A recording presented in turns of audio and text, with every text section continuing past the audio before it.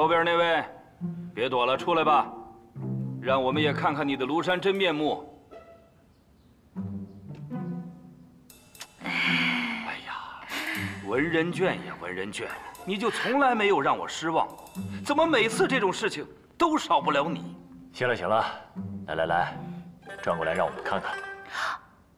转过来吧，看看这次又搞什么新花样。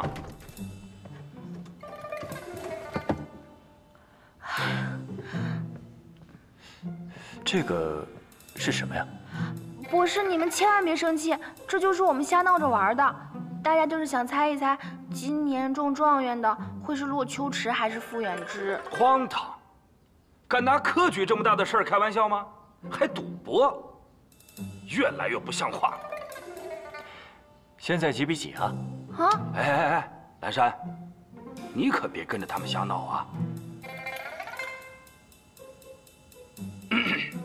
呃，我跟你们说啊，把心思多用在功课上啊，少搞一些歪门邪道的事儿啊。算出来没？啊！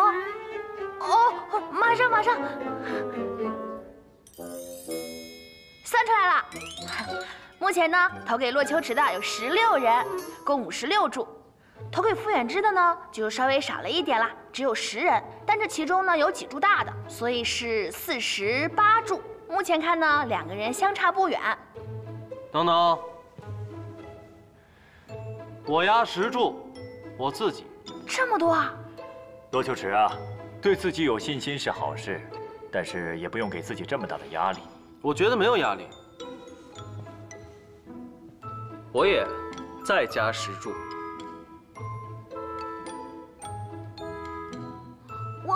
我我也投，我我投我投一百注。呃，你怎么看？我支持远之。呃，我加二十注。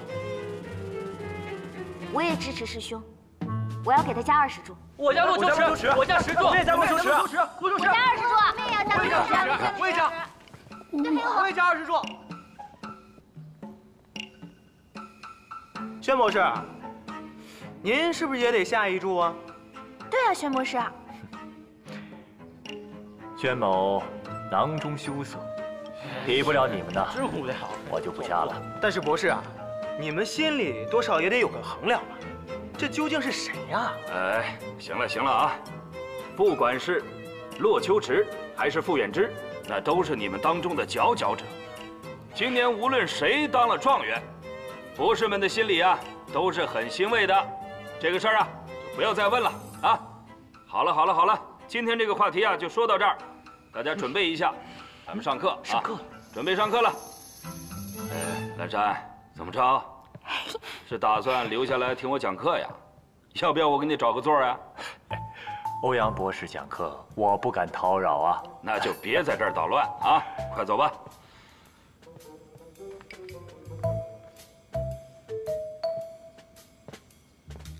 哎，你说谁会赢啊？当然是洛秋池啊！好，那我就押傅远之。哎，你还别跟我抬杠，我就跟你说。行了行了，上课。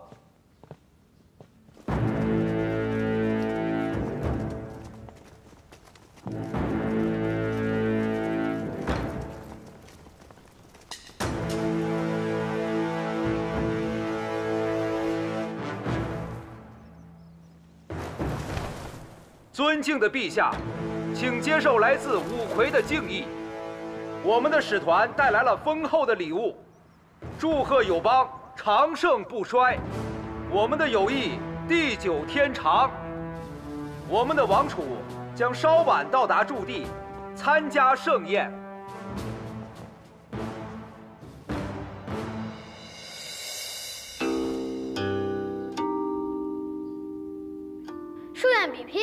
正是，听说友邦的竹秀书院聚集了友邦的顶尖学子。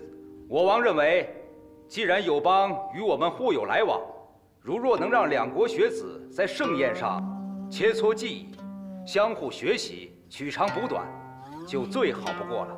所以此行我们带来了五魁万象书院的学子。好，有比赛看当然好了。那你们都打算比什么呀？不会就只是吟诗作对吧？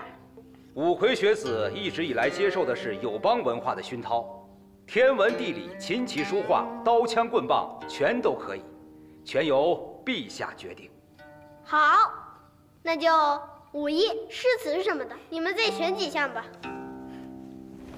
陛下，三思啊！那就这么决定了，赶紧让书院的学生们准备起来，咱可不能输给他们。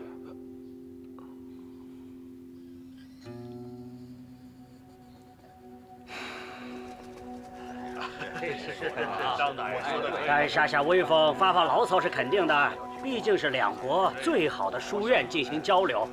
但要是输了，我朝泱泱大国，这面子可就丢大了。哎，拒绝就不丢面子了。如果我们不答应他们，他们还以为我们怕了他们呢。我先告辞了。好。既然陛下都已经答应下来了，咱们现在说的这些也都没用了。所以当务之急呢，还是赶紧挑选学生应战吧。哎，这如此重任啊，这也不知道这些学生们谁来担当啊？这是大好的机会。元直明白，我一定不会输的。不，你不明白。对于五魁，你代表的是朝廷，是书院；对于朝廷，你代表的是父府，更是你自己。听说那个洛秋池也会来参加。没错。比赛时，所有朝官。都会亲临观赛。你不但要赢，而且还要适时的崭露头角，让他们明白，你很快就能成为他们当中的一个，并且是最好的一个。现在文人书和玄音都对我青睐有加的消息已经放出去了，有不少官员私下找我结交。我正要与你说说此事。你应当尽快在文人书和玄音之间做出选择。文人晋与康亲王将朝中势力分为两派，我会静观其变，然后做出最好的选择。你就没想过，他们二人身处高位，怎么会轻易被一个小孩子玩弄？你可不要聪明反被聪明误啊！他们只是一时没有空处理此事罢了，但事关他们女儿的名誉，他们必定会处理此事。到时候，你可能什么都捞不到。就是因为事关他们女儿的名誉，他们才必须哄着我。你不会放肆！我什么时候教你这么做了？你怎么能自作主张？文人叔从小就爱慕我，我勾勾手指头，他就愿意为我做一切事情。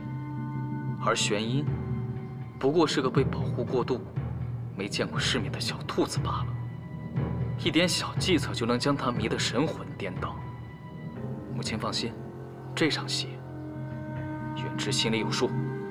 下面我宣布，参加本次比赛的项目和名单：傅远之。算术、文人书、武艺，恭喜啊！张玉才，画技，洛秋池，武艺，赵清河，诗词。思成啊，学生有个不情之请啊。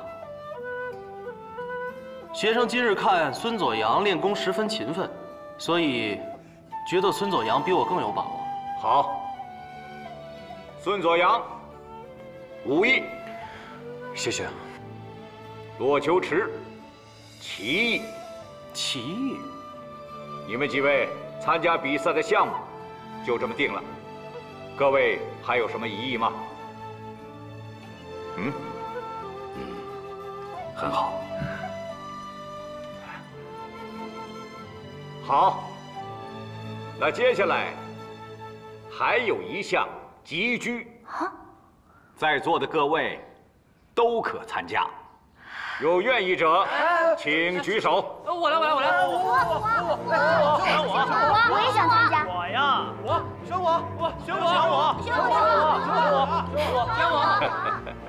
我。啊，集居啊，是男子的运动，你们女孩子就别再掺和了啊。孙左阳、谢子云、柳成绵，还少一位啊。哎，对对，我来，我来，我来，我来，我来呀，我们呀，选他。骆秋池，你怎么样？我没问题啊。嗯，好啊。我先说一下啊，这次你们的对手是来自五魁最优秀的书院——万象书院，他们的实力啊，也不可小觑啊，所以。你们切记，不可轻敌。比赛呢，虽然只有六个项目，但是我们一项都不能输。我们不仅代表的是竹秀书院，更是代表我朝泱泱大国的国威。所以在座的你们必须谨记，一定要全力以赴，明白自己肩上。所担负的责任，不负书院期许，更不负陛下之厚望。你们都准备好了吗？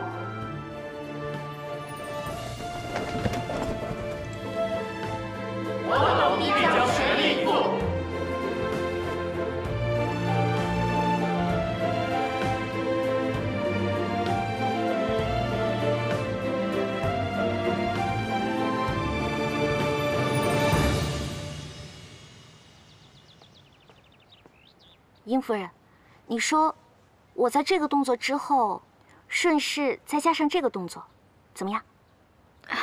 这法子好，大姑娘果然有天赋。这次的比拼，您绝对会赢。多谢英夫人。英夫人，到时候你叫人找些彩纸过来，把它们撕成小片，等我上台的时候，让人往台上扔撒，总比我直接走出来要好得多。你说是不是？这，大姑娘，这会不会稍显刻意了？毕竟这是两国比拼，和平日表演不同。就因为是两国比拼，所以才要更花一些心思。大夫人。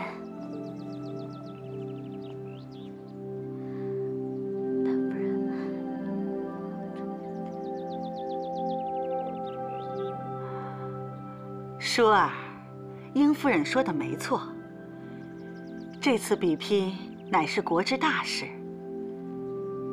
不是突出你个人技巧。设计的过于隆重，并不讨巧。你听娘的话。我为何要听你的话？不要说的好像是为了我好一样。说到底，还不是为了自己的面子。我已经长大了，自己的事情，我自己决定。舒儿，舒儿，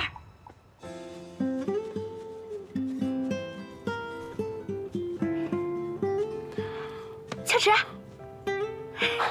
来了。不是，嗯，不是约会吗？干嘛穿成这样？我，我怕别人看见。这深山老林的，怎么可能会有别人呢？那说不准啊！哎，不说这个了。不过你今天叫我来这里是干嘛呀？我，嗯，看风景。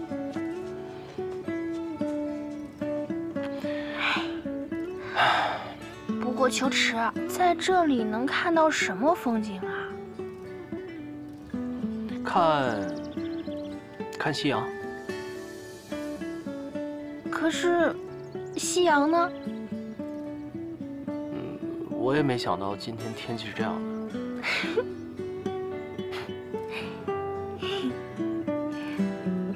哎，那就等等吧。不过秋池，你真的会寄居吗？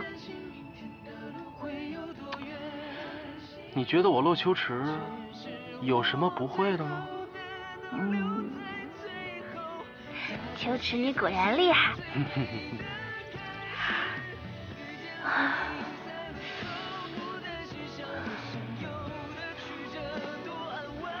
这里是山顶，所以可能会有一点冷。现在好些了吗？这样就不冷啦。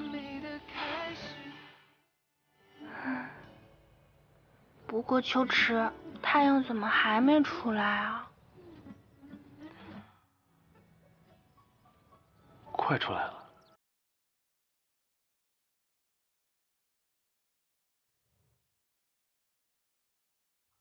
好。完了完了！哎，我肯定做不到的。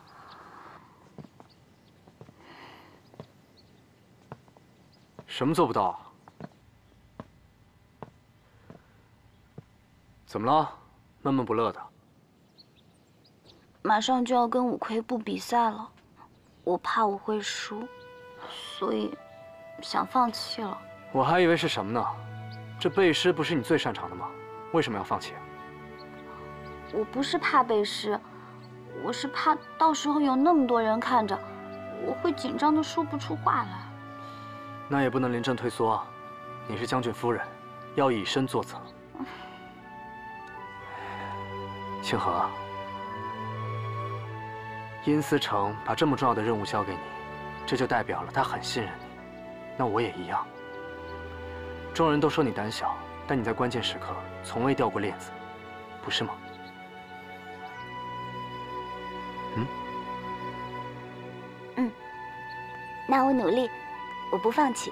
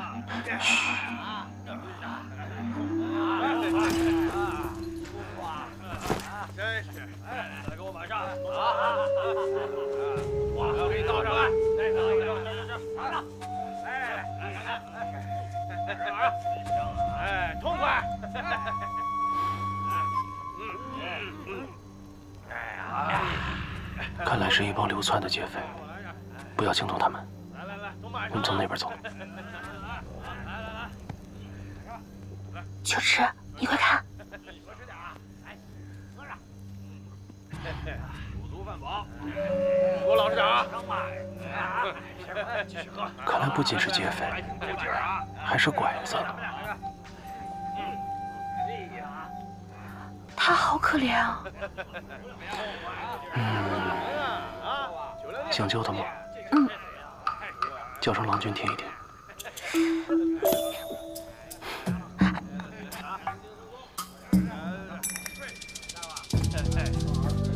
没问题。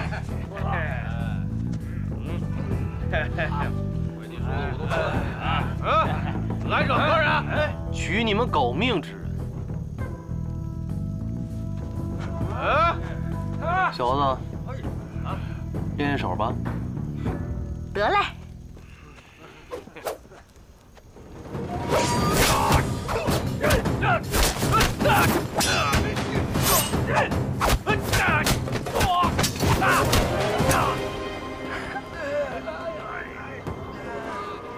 哎，原来行侠仗义这么爽啊！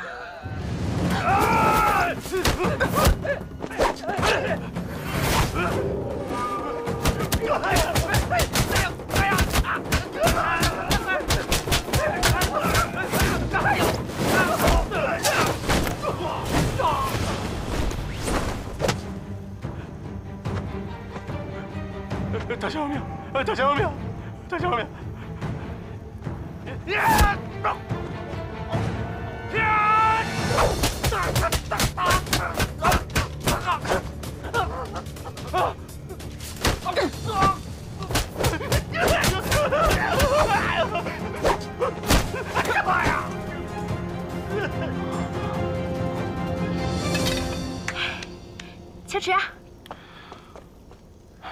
表现不错，带那孩子走吧。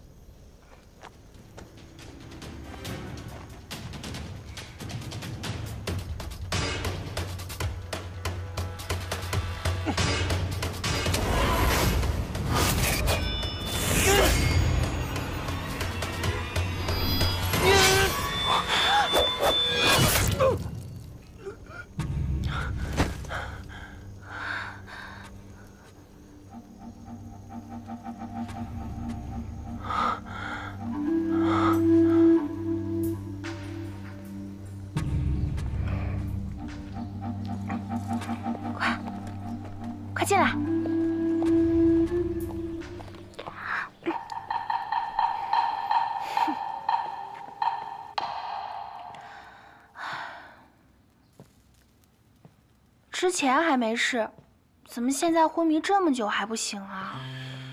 嗯，你还挺关心他的啊？估计饿了吧？饿了，那我去给他找一点吃的。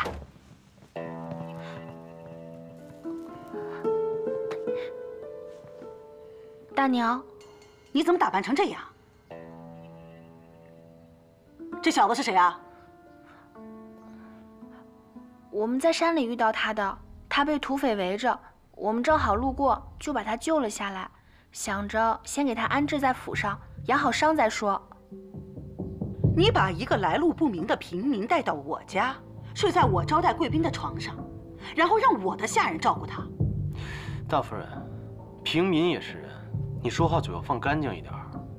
这是文人府，你是什么人？有你说话的份吗？这孩子受伤了，我说你这个人怎么受伤了？去找大夫，这里不是普救房。大娘，谁是你大娘？你是我女儿吗？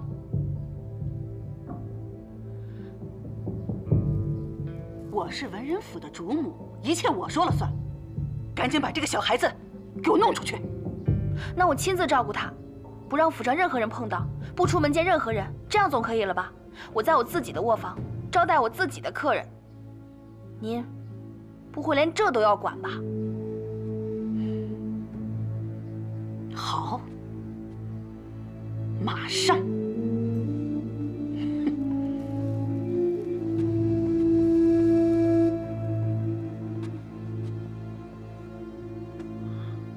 你是要亲自照顾他？当然了，他都这样了，我能那我怎么办？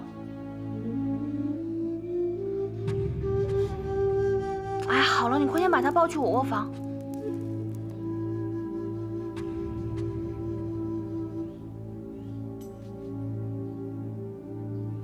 从今天起，你不再是我的师兄，我们之间的情谊烟消云散，你我势不两立。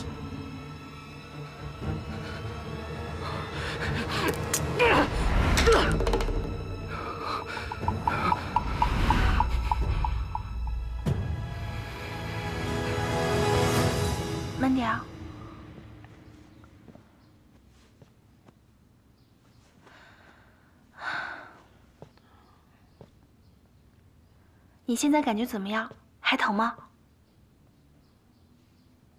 怕不是个聋子吧？你听得到姐姐说话吗？哦，原来是个哑巴。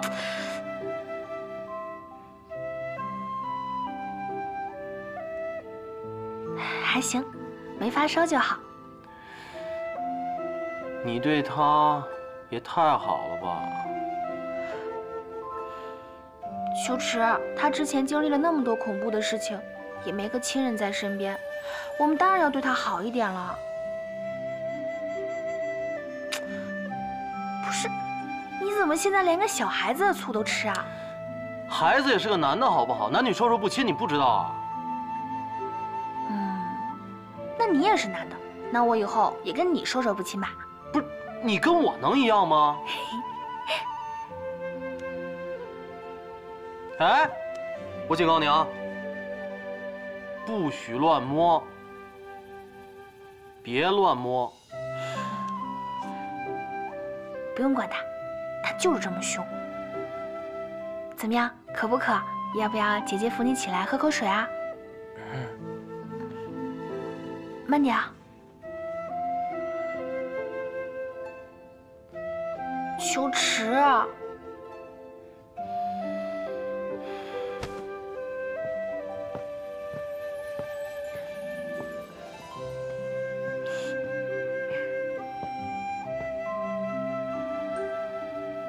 慢慢喝啊，别呛着了。哼。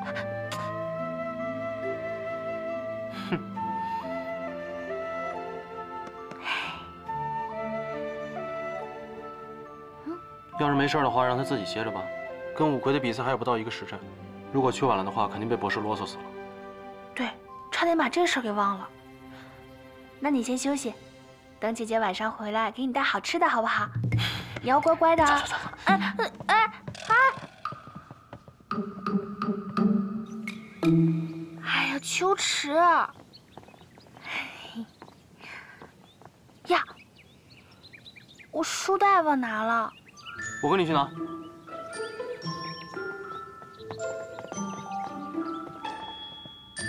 小屁孩，我们……啊，人呢？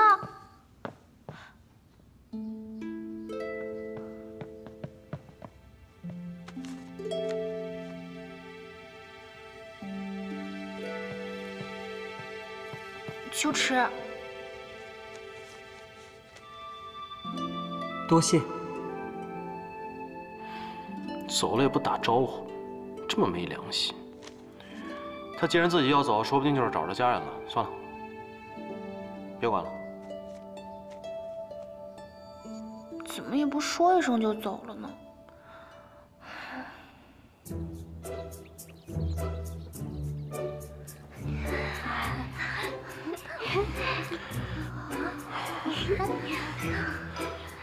秋池，等我一下。嗯，去吧。张育才，你怎么流这么多汗？你还好吧？没事没事。不用太紧张。张育才，不是，就一个比赛，几个五魁部人，怕什么呀？你不害怕，你结巴什么结巴？嗯，球子，嗯嗯，还有心思关心别人？你是不是昨天晚上折腾一夜？你是不是累坏了呀？啊？嗯？哦，哎呀，秋池，你还说呢？都怪你昨天太勇猛，太厉害了，害得我一夜都没睡啊！哦，好，好，好，好，怪我，怪我，怪我，那不还是因为你？哎，阿俊，听说你们昨晚在山林里救了一个小男孩，是真的吗？嗯，嗯，真的，真的。还说呢，把我们府上都弄得脏兮兮的。那不正好可以遮盖一下你的胭脂味吗？你神气什么？师兄努力，我相信你一定可以的。让他们看看你的风采。秋实，你放心，我相信你一定可以的。你一定可以将那些五魁部的人打得落花流水。那是当然。师兄，别说了，比赛马上要开始了。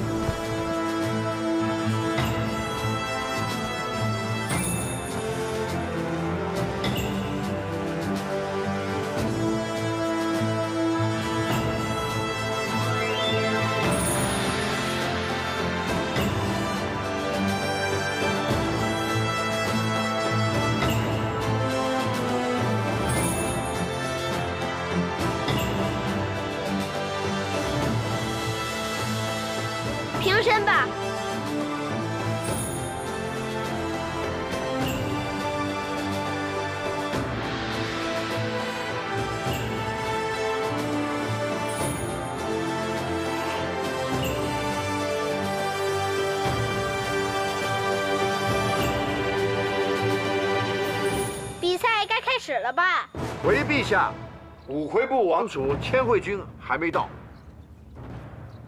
哼，这五魁部王子也太过分了，敢让陛下等，以为他是什么？五魁部王子千惠君到。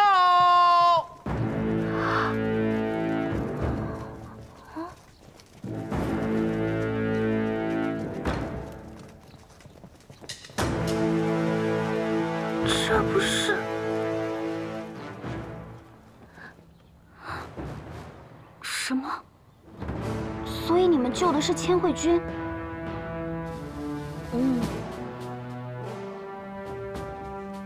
尊敬的友邦陛下，吾乃五魁部王子，千惠君。免礼，请坐。看来他不只是个没良心的。还是一个没良心的混蛋。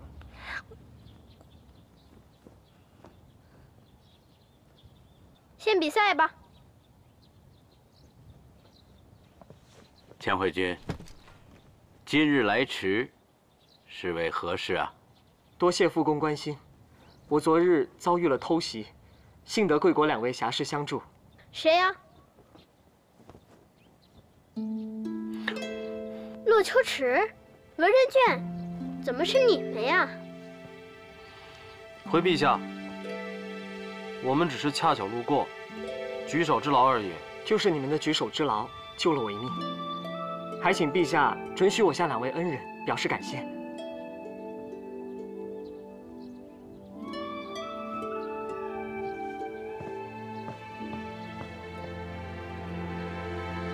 回千惠君，那是臣的女儿。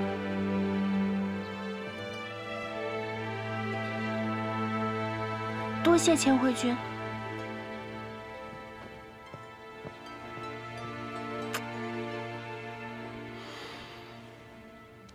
多谢贤惠君。时候不早了，我朝与五魁部书院比拼即刻开始。第一项，算术，请我朝参赛学子傅远之与五魁参赛学子三树上场。师兄，你可以的。嗯，看你的了。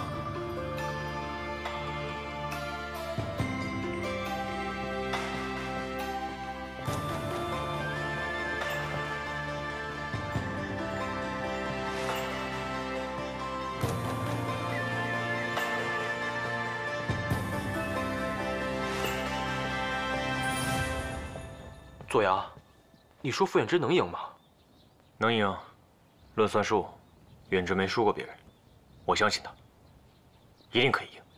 那还真说不准。对方不也是五魁算术最好的学生吗？那又如何？师兄算术超凡，仅凭心算就可以。我相信他一定会赢的。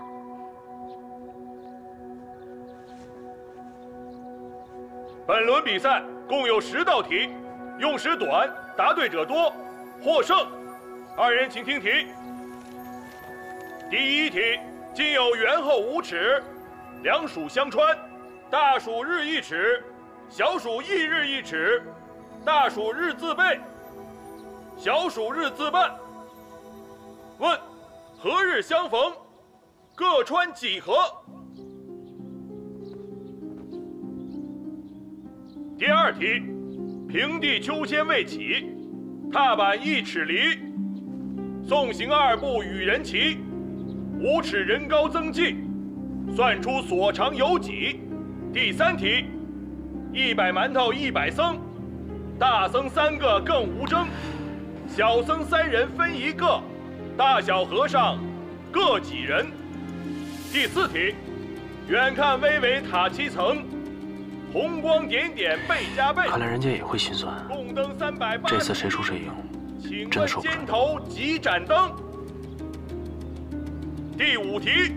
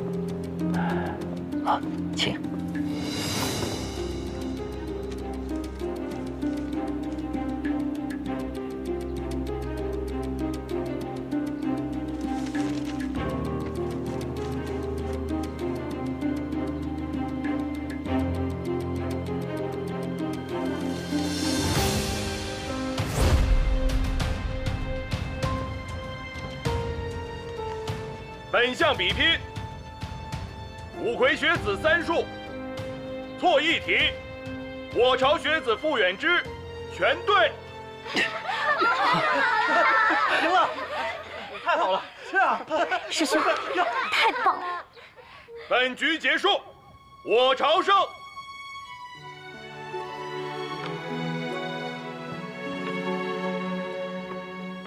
嗯，还是我儿子厉害。不就是你儿子吗？啊！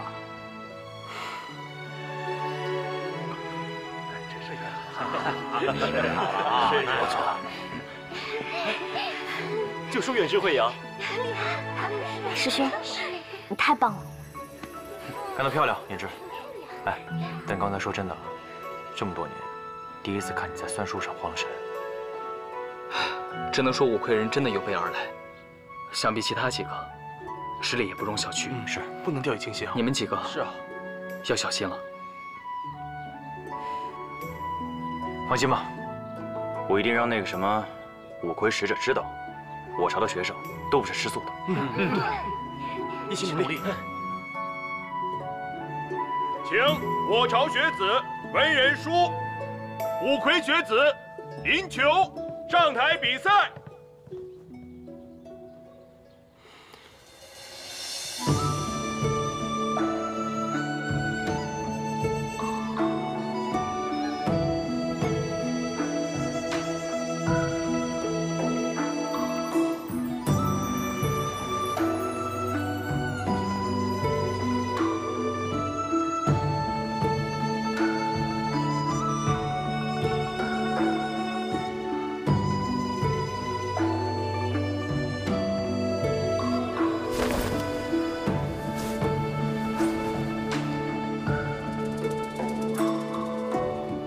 画比赛，请我朝学子张玉才与五魁学子金钟道上台比赛。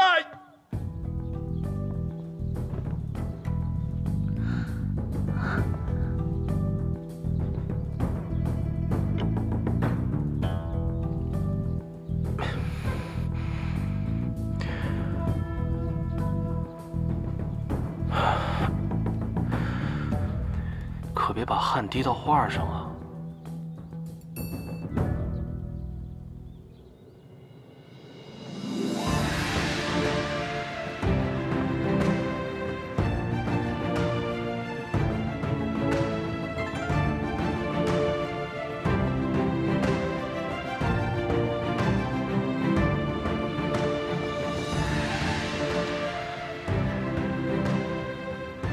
背诗比赛，朝学子赵清河与五魁学子金淼淼上台比赛。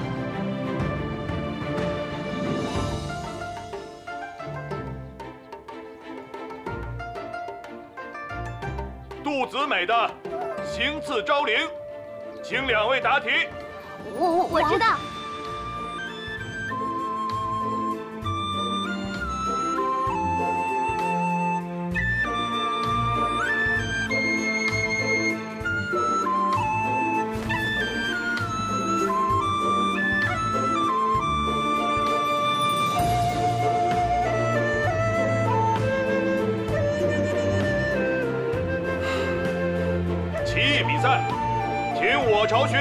学子骆秋池与五魁学子文在寅上台比赛。